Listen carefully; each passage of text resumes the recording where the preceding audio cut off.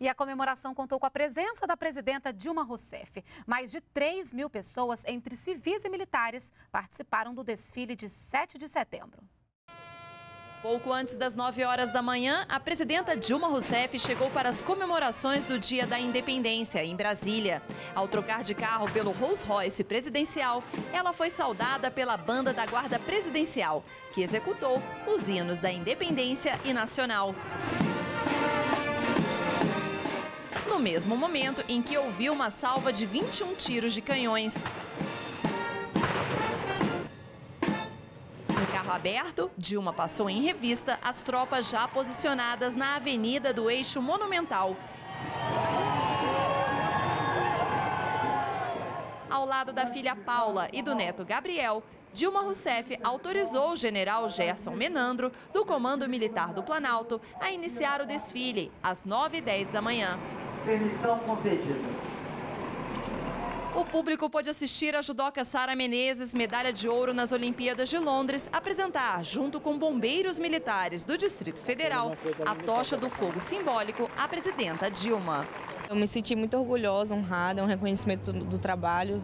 Sempre quando tem esses eventos é, é muito importante participar, eu gosto muito. Cerca de 3.800 militares e civis passaram aqui, em frente ao palanque presidencial na esplanada dos ministérios. Ao lado da presidenta Dilma Rousseff, 15 ministros, além de autoridades, diplomatas e convidados, lotaram as cinco tribunas de honra, com capacidade para mil pessoas.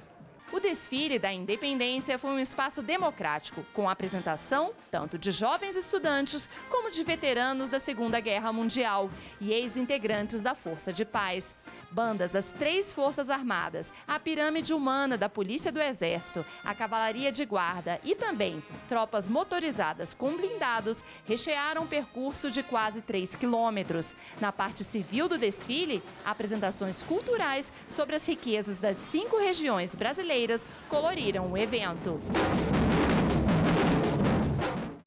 Cultura se fez presente. Eu acho que a cultura está um pouco em tudo. A cultura está na vida, na música, na, na culinária, enfim. É, é um pouco da cidadania, a gente tem que pensar em cidadania, pensa também na cultura. Se a variedade em terra foi grande, nos céus, o desfile de helicópteros e aviões em voo baixo virou foco das atenções. O lema do desfile deste ano é Brasil, um país de oportunidades. A frase comemora as conquistas econômico-sociais no Dia da Independência. É um orgulho enorme estar nesse desfile de hoje, porque representa a consolidação dos direitos humanos, dos direitos das mulheres.